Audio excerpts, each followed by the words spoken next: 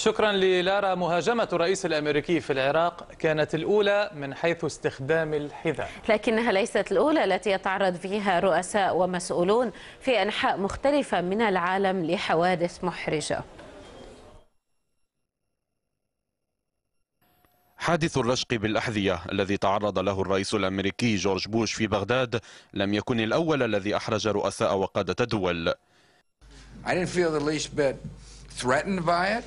إن هذا الأمر لا يقلقني ولا يزعجني. أعتقد أن هذا الشخص الذي قام بهذا العمل قام به من أجل لفت الانتباه وهذا شيء عادي يحدث في احتفالات وتجمعات سياسية.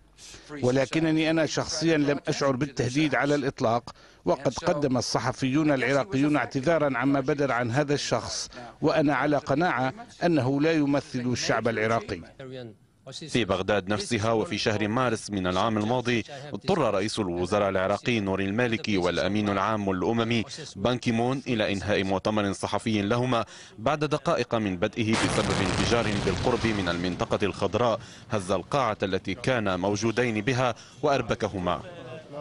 ومن المواقف التي أحرجت أيضا قادة وزعماء ما تعرض له الرئيس الفرنسي نيكولا ساركوزي عندما قذف بقطعة من الحلوى في أولى أيام رئاسته لفرنسا.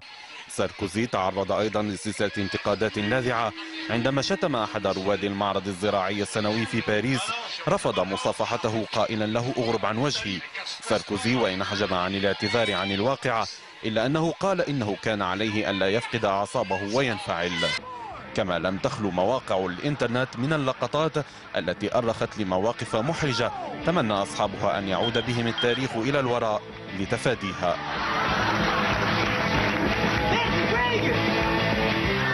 سليم بوعسة العربية. نعم. صعبة. الله لا يجربنا. صعبة.